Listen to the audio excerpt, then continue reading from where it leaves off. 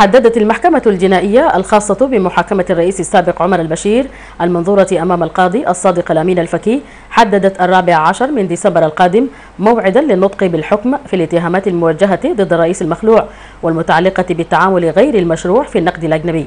كما حددت المحكمة الرابع والعشرين من الشهر الحالي موعدا لإيداع مرافعة الاتهام الختامية والثامن من ديسمبر القادم موعدا لمرافعة الدفاع. نحن نعتبر أن المرحلة القادمة هي مرحلة مرافعات وسنتقدم بمرافعة بعد الاطلاع على كامل المحضر بصورة تؤكد براءة السيد رئيس الجمهورية السابق مشير عمر حسن أحمد البشير وأن هذه المبالغ كان يتصرف فيها بحكم وضعه السيادي وبحكم وضعه الدستوري في مسائل متعلقة بالأمن ومتعلقة بالصرف على بعض المسائل الخاصة وأن المبلغ نفسه ليس جزءا من الميزانية وإنما جاء